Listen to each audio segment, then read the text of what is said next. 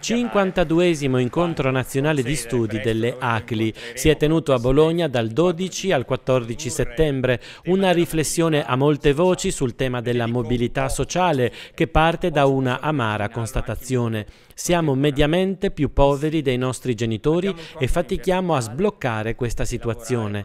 Le ACLI hanno voluto così rimarcare il ruolo determinante dei cattolici nel contrasto alle disuguaglianze. Questa penso che è una per esempio delle grandi attività delle ACLI che è quella di ricostruire la comunità con, con chi, più, con chi è più escluso, eh, l'attenzione più grande delle Agli è sempre stata quella verso eh, gli svantaggiati per, per, far funzionare l'ascensione sociale, per dare delle opportunità a chi non ce l'ha. Abbiamo invece bisogno di dare speranza e quindi di creare un paese dove il diritto all'istruzione, alla formazione, a crearsi un futuro sia per tutti, sia per tutti i ragazzi e tutte le ragazze. Ed è da questo che bisogna partire. Le diseguaglianze non si elimineranno mai con la redistribuzione, ma si eliminano con la predistribuzione, cioè dire bisogna intervenire sul momento in cui il reddito e la ricchezza sono prodotti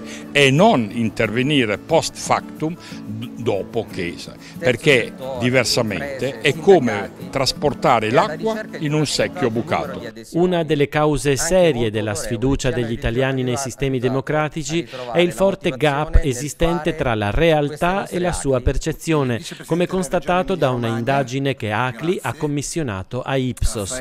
L'Italia, come percepita dagli italiani, non esiste. Le ricerche che noi realizziamo mostrano che c'è una distanza molto profonda tra quelli che sono i dati reali e quelle che sono le percezioni dei cittadini sui grandi temi di attualità sociale, dal numero di migranti a quelli dei disoccupati, le persone meno giovani e così via, fino a fenomeni anche magari che hanno a che fare con lo stato di salute delle persone.